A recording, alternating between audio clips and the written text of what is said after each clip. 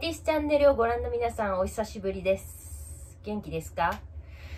は あもう新曲のアニメーション制作も無事に終了ほぼほぼ終了で、えーと、新曲のねあの音源の方も今最終チェックしてる感じだから毎日ね毎日ちょっとね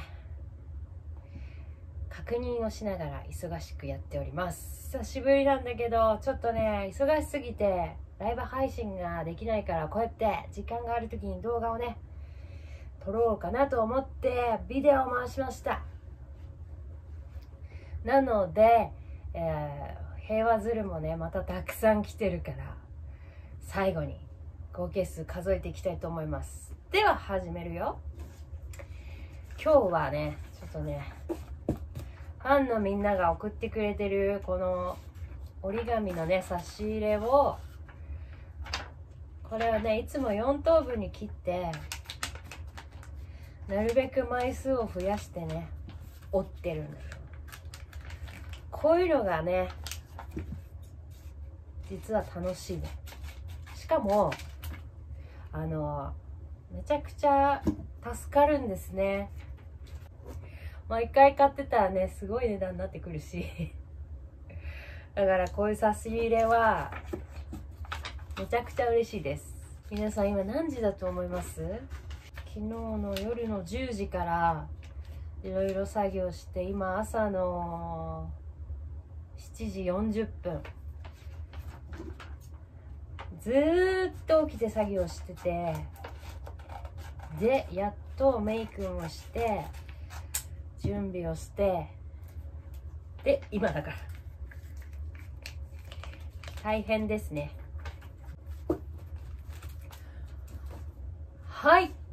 というわけで4等分切ったからこれ100枚分あるかな多分。足りなかったらまた切ろう。では始めます。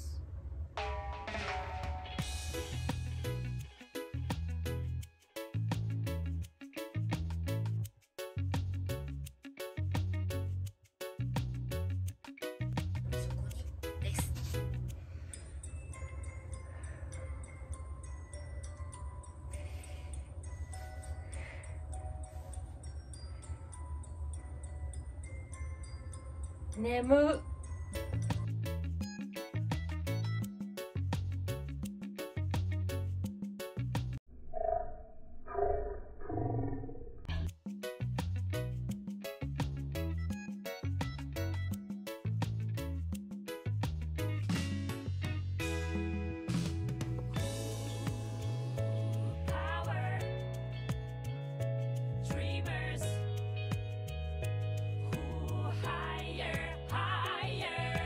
はい。というわけで今日も100は折れたということでここからお楽しみの平和ズルがスタジオにまた届いているので紹介したいと思います、はい、この黄色いカバン紙袋の中にめちゃくちゃ入ってる。あなんかプレゼントも入ってる。ほら。何これ。パイナップルのカチカチ言ってるなんか。手紙があるから読んでみよ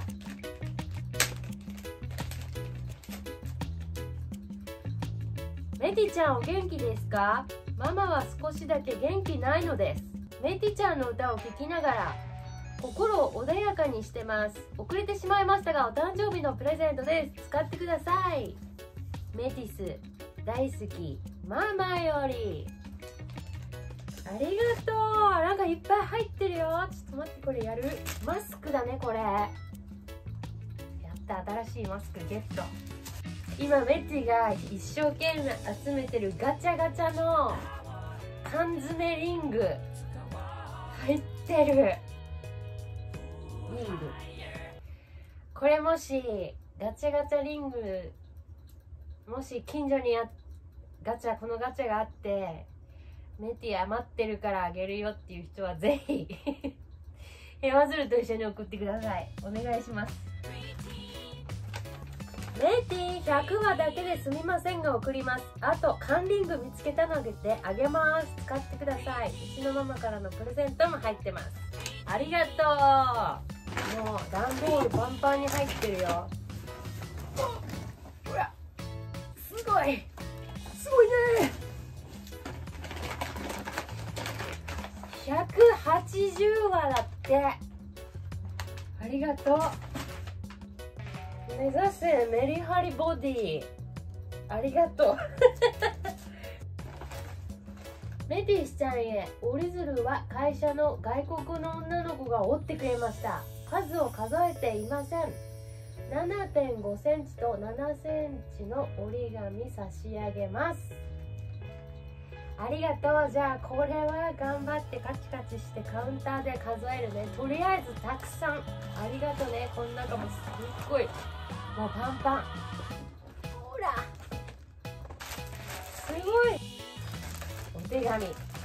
読んでみます。メティスへ。大槌こども園。大槌のメティママ先生だ。これはね大槌町のあの被災地であの当時震災があった時に出会って今もねずっと仲良くさせてもらってる園長先生から被災地から届きました。メティスやお元気ですか？あの感動的なライブから2年が経とうとしています。いろいろなことがありました。なんといってもコロナ。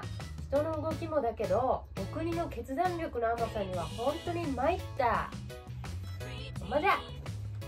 そしていつでも子供たちは後回しです。それでも子供たちは手洗い消毒うがいを一生懸命頑張ってみんな元気に乗り切っています。通にメティのライブを再開することができるのだろうか？東京とかに普通に行ける日が来るのだろうか？と時々大きな不安不安に駆られる日もあるけれどあの大震災の時を思えばなんてことないといつもそう思ってます。必ず明るい未来が待っていると信じて必ずまた大槌でメティのライブができる日が来ると信じてもうひと踏ん張り。メティもなかなか思うような活動できないと思うけど絶対にそばにいるから。絶対に乗り切ってほしい。2年越しになってしまったけれどみんなで折った折り鶴を送ります。大きな鶴は453羽で小さな鶴は2125羽あります。夢や希望を諦めないで私も子供たちのために頑張るから。メティも風邪ひかないように美味しいものいっぱい食べてキラしたメティスでいてください。そしてまた必ずお家でメティスライブが実現しますように。大槌のみんなしっかり届きましたよ。そして皆さんの温かい平和ズルもありがとうございます。必ずねライブはいたしましょう。こんなのはねもうコロナだからって負けちゃダメです。というわけでこちらの後でメティ数えてねっていうやつはメティが後で数えるのでそれはまだ追って平和ズルの合計今までの合計結果を集計して発表いたします。それでは集計結果はこちら。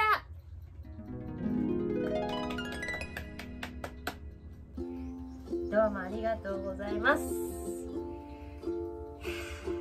どんどんどんどんね増えてってるんだけどあの本当今年の目標は50万番みんなといけそうな感じがしてきてる。6月だけどね。まああともうもう6月だね。だけどまあ今年の目標は50万番いけたら嬉しいですね。それはそれで、嬉しいです。と最後にね最近知り合ったそういうのね小学校5年生の女の子のお友達がいるんだけどその子がメテにくれたとっても可愛くてとっても素敵なプレゼントをみんなにご紹介する彼女はこんなにいっぱい素敵な絵をくれました女の子が描いたんだけどしかも iPad で絵を描いたみたい。絵が好きなんだね。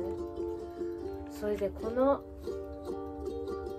詩も書いてるんだけどとっても感動したからみんなにもこの詩を伝えたいなと思ってね今日は最後に紹介する。まずこちら。気持ちはいつまでも変わらないものじゃない。だから今やりたいことを楽しくやり遂げていきたい。素敵だと思わない？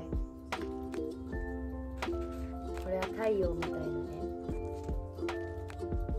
どんなにどん底な人生でも絶対希望はある。諦めないで。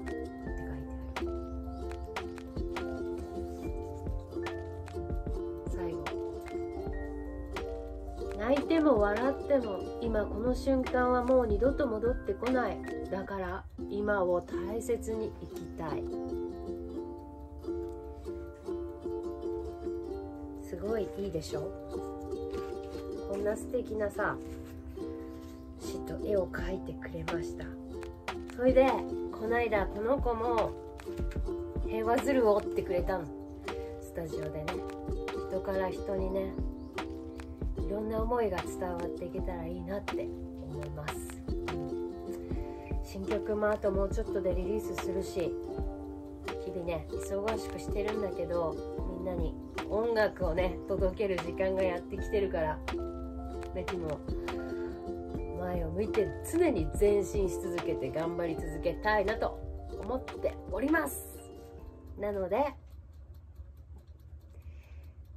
皆さんも日々何事も諦めることなくね止まりながらも気持ちは前に進むようにメティスも応援しています。音楽があなたのそばにあることを願って。ではまたみんな見てくださいね。それでは平和ずる。今日はたくさんまた集まりました。また次の動画もしくは生配信お楽しみに。というわけでメティスでした。バイバーイ。どうもありがとう平和ずる